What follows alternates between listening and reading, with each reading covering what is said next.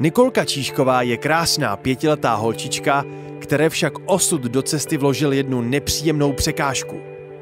Trpí totiž vrozeným genetickým onemocněním, spinální svalovou atrofí, kvůli které postupně přestávají svaly plnit svoji funkci. Nikolka není od malička schopná samostatné chůze, chodí jen s pomocí chodítka a jezdí na zapůjčeném invalidním vozíku.